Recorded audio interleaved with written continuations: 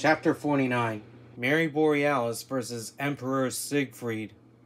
Eventually, the subterrouters realized the train's tracks could be easily destroyed.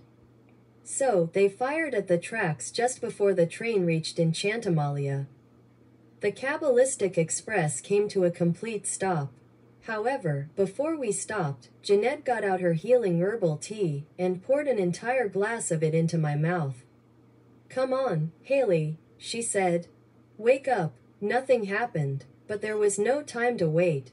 Because outside the train, the subterrouters prepared for a violent final battle before the alignment. Go, yelled Fisher. We'll stay here with Haley, yelled Buck. The Kabbalistic Express had arrived at its final stop, the final battlefield. Here, all of our fates would be determined. Outside, Siegfried and the other subterrouters caught up with us, transformed back into evil wizards, and were ready to finish this war once and for all. Mary Borealis and the other Kabbalistics ran outside and prepared for battle. Kabbalistics, she said, if I cannot defeat Siegfried, you must continue the fight for me. My sacrifice must not be in vain. Now, take your positions while I take mine. Siegfried smiled at them when they ran outside. Sadness and casualties. Sadness and casualties. Sadness and casualties. He said, So, this is how it ends. I offer you a place on earth that we can call our own, and you divide our family. I offer your chosen one friendship, and she rubbed it in my face. Now, give me the girl. All of the Kabbalistics stood together. If you want her, said Damien, you're going to have to get through us. Everybody else posed for battle. Kenos laughed. How ironic, he said, the Knights of the Round Table. Leave them alone, yelled Mary Borealis. Siegfried smiled at her. Your fellow Kabbalistics are wise, Borealis. He said, They know which battle is not theirs to fight.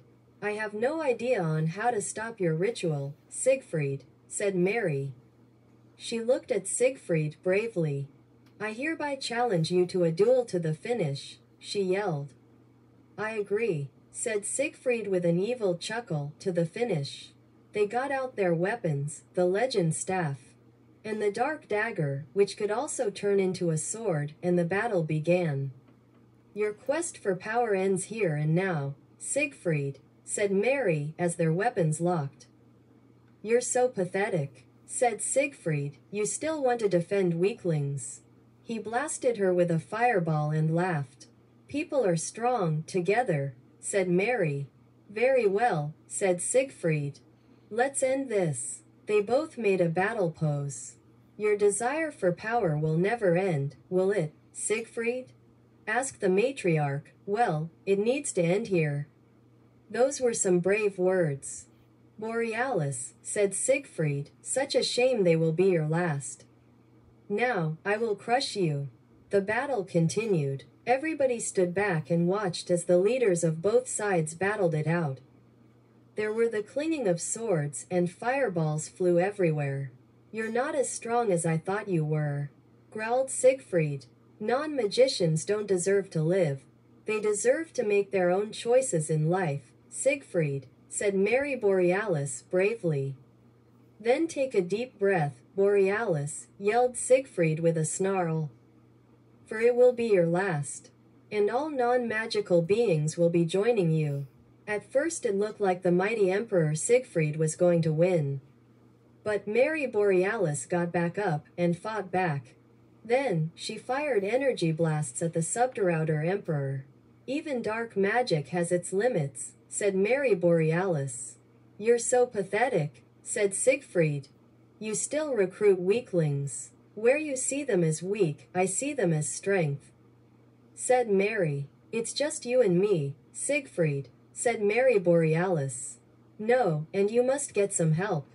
Borealis, yelled Siegfried with a loud evil Both sides waited a really long time for this. They watched as the leaders of both sides stood before each other. Two sorcerers enter this battle, only one will leave, said Mary Borealis bravely. Now, it looked like Siegfried was losing. But suddenly, the Emperor came out stronger than before and began hitting Mary Borealis really hard. You still fight for those that are weak, yelled Siegfried, that is why they're called losers. We shall see, yelled Mary Borealis. The two leaders charged at each other. Then, there was a massive explosion. During the explosion, Mary Borealis was overpowered, and Siegfried transformed her into a beached bowhead whale. She completely lost her voice and she couldn't move. She was no longer a threat to the Emperor. Finally, yelled Siegfried, victory is mine. Now I shall rule the world. Grace leapt at her uncle, but Siegfried overpowered her as well, and turned her into a small toad. This caused Jeanette to go into a rage. Siegfried, she growled, you monster.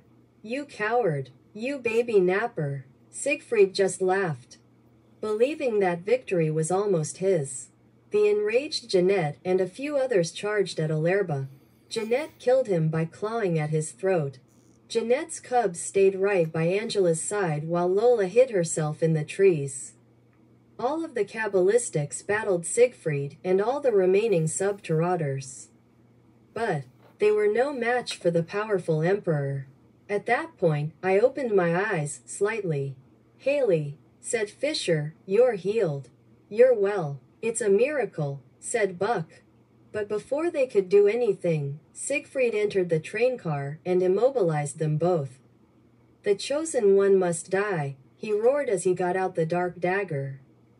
Outside the train, Peter showed up.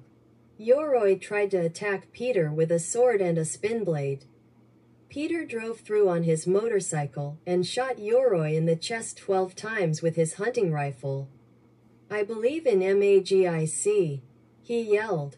Yoroi fell to the ground, presumably dead. But then he got back up and was much angrier than he was before.